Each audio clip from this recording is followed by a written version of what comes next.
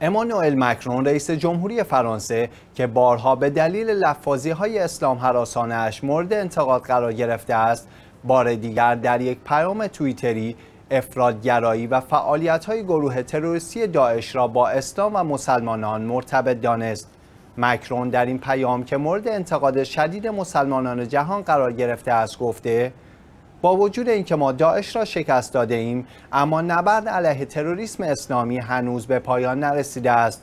مسلمانان استدلال می کنند که مشکل اصلی عبارت تروریسم اسلامی این است که به معنای ارتباط تنگاتنگ با اسلام است در حالی که اسلام در واقع دینی است که صلح و احترام به جان و مال همه انسانها را ترویج می کند و تروریسم و انواع اقدامات افرادگرایانه صریحا در دین اسلام ممنوع شده است. مکرون قبلا نیز گفته بود که تجزیه طلبی اسلامی مشکل آفرین است و مشکل این است که این ایدئولوژی ادعا می کند قوانین خودش باید برتر از قوانین جمهوری باشد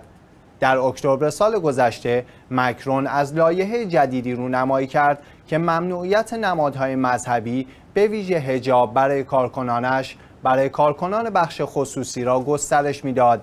مکرون همچنین پیشتر گفته بود که از انتشار کاریکاتورهای توهینآمیز به حضرت محمد صلی الله علیه و آله جلوگیری نمی کند. بیانیه‌ای که خشم جهان عرب و مسلمانان را برانگیخت. اتحادیه بین‌المللی متشکل از 36 سازمان غیردولتی به نمایندگی از 13 کشور نیز از دفتر کمیساریای عالی حقوق بشر سازمان ملل متحد خواستند تا در مورد اقدامات سیستماتیک ضد مسلمانان فرانسه تحت مدیریت ماکرون تصمیم جدی بگیرد.